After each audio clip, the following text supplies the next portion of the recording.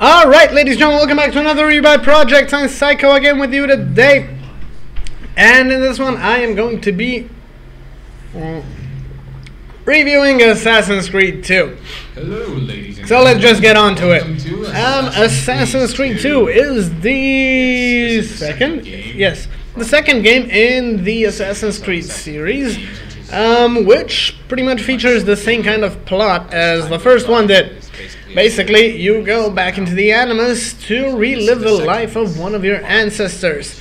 In this part, it's um, Ezio Auditore, one of the Italian nobles whose family has been murdered by the other nobles. Um, so yeah, there's a there's a really really nice plot to the story. so yeah, as far as the story goes, you kind of you pretty much do the same as you did in the previous ones. Go into the Animus, go back in history, stop the Templars from taking over the world, finding the Apple of Eden and the staff, if I'm not mistaken.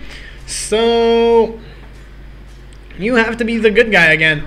Um, being an assassin, killing everybody without them seeing you. Um, you can actually kill everybody and nobody will see.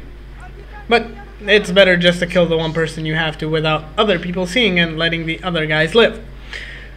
So, yeah, as far as the gameplay and everything goes, the gameplay has been updated a bit. Um, they have added some new features to the game which make it a bit more, well, playable. A bit even better to play and to, to actually go through everything. The map is freaking huge.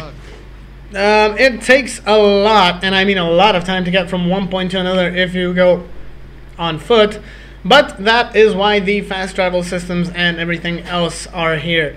Um, the game has, well, in Assassin's Creed 2, it's one of my favorite games because of the cool features that they have added to the game, um, which are, which pretty much make the game even more interesting, like flying and everything, and all of the kind of things that you don't usually do in games. So yeah. Um, as far as the graphics go, as you can see, the graphics have been updated a bit. It's a bit older. Well, it came out after Assassin's Creed 1, obviously. Um, so everything has been updated to look a bit nicer. The requirements for it aren't that um, aren't that high, especially um, because of the time we live in. Um, so it's gonna run on a pretty much potato computer um, that has the kind of minimum minimum specs for it. So yeah, that's gonna be all from my side. In the meantime, do not forget to like and subscribe, comment on the videos, and I'll be seeing you guys in the next one.